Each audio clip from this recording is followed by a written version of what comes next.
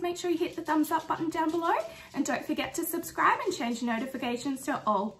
Thanks for watching guys. Bye.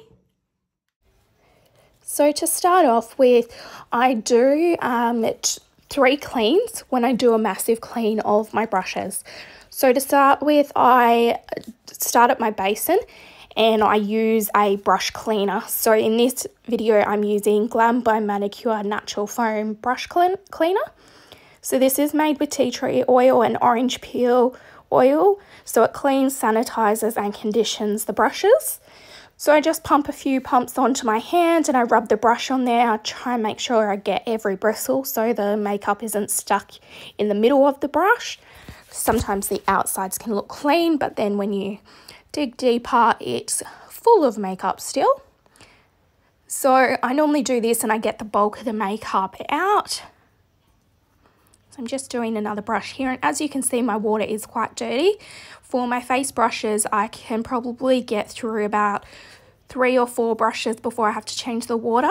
For my eye brushes I can get through probably about 15 and then change the water. I'm just making sure I shape the brushes too. So my second clean, I normally just grab a bowl of warm water and again I use that same brush cleaner again. I just make sure I'm getting everything out um, just because I might miss some and I'm sitting here in front of the TV doing this. So it's not taking any time at all. Then to finish up, I use my Models Prefer brush cleaner. Now this one is a favourite of mine. I've tried other products and I do not like them. So this one is like an antibacterial spray. So it's like an alcohol uh, cleanser. So I do that and I spray that on the brushes and I wipe it onto a paper towel until it runs clean. Um, and because it is like alcohol based, it helps the brushes dry quite quickly as well.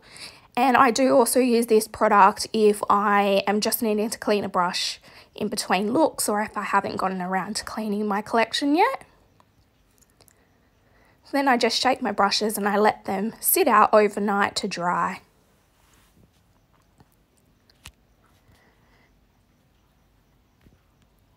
And here is my collection in full, all nice and clean now and ready to dry. Thanks for watching guys. Bye.